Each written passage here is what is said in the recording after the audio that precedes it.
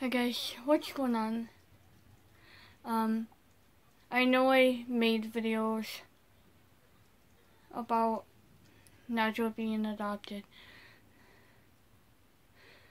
Um, and actually, I know you've possibly seen my new videos of Casper and JJ, the two other jobs on my job now. But I mean, it's hard. I know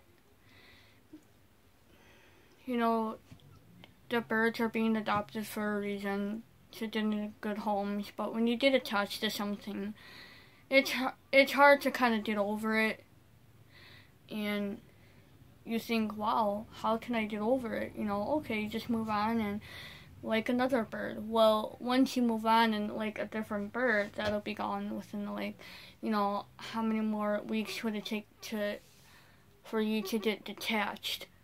for me, I mean, I'm still not detached from Nigel. What I mean by detached is I'm still not like over him.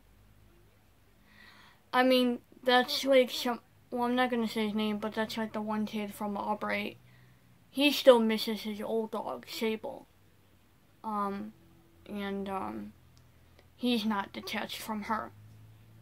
It's like, I mean, when your pets die and when things are being adopted or your pets are being adopted, it's totally different stories because that's like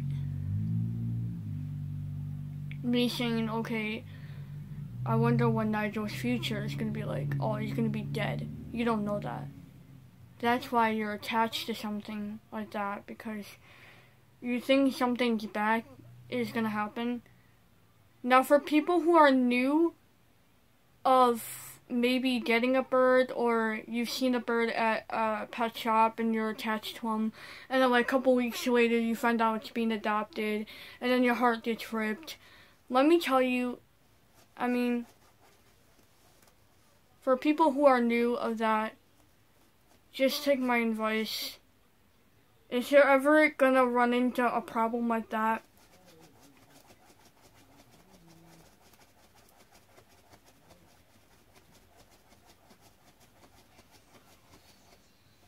Do you guys hear that? Hello? No, do you guys hear that? I wonder what the...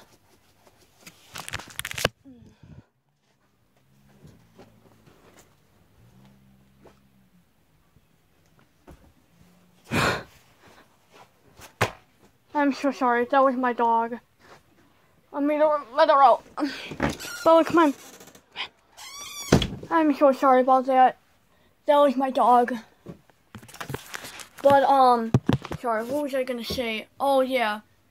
I mean, just take my word for it, for, like, a you're new to something like that.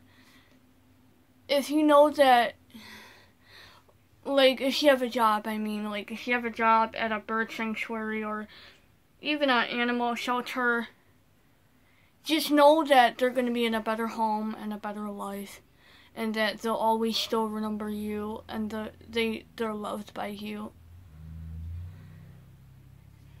Um it's hard for me to talk about it because I mean I don't know how to describe anything. You know, I do miss him. I need your advice. What do I do? I know I've recovered from it, but I still miss him. What do I do? Please, give me advice.